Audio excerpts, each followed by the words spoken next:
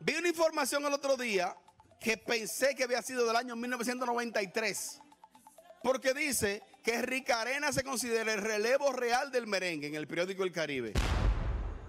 No, pero eso tiene que ser un chiste que Rica Arena, que debutó en el 93, es el relevo real del merengue hace 25 años que ella existe.